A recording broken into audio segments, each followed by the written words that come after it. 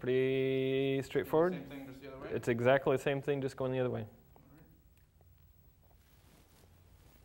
Make sure there's nothing else special here.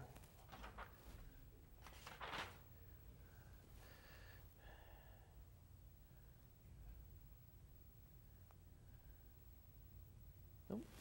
Okay. Good to go.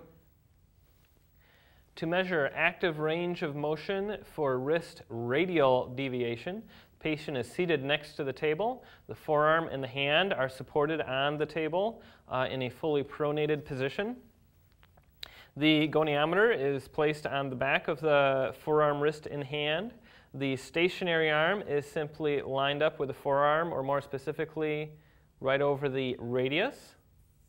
So you can palpate that to find that. The axis of the goniometer is lined up with the sulcus of the capitate.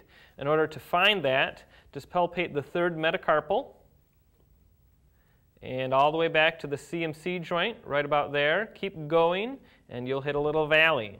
That valley is the sulcus of the capitate, and that is where your axis of your goniometer is going to go. Again, the stationary arm is simply lined up with the radius.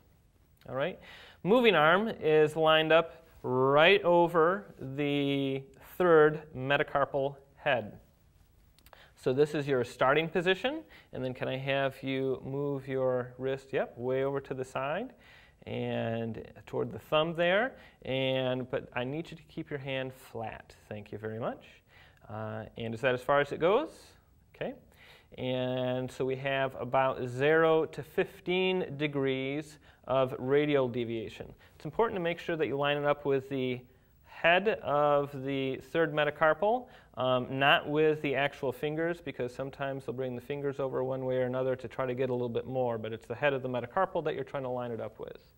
By the way, when I'm doing this in the clinic, I will typically measure both radial and ulnar deviation at the same time. This one is difficult uh, in that it's, it's hard to keep the stationary arm in the same place uh, from one measurement to the next. So I'll do radial, and then I'll just say, can you bring your hand over to the other side towards your pinky?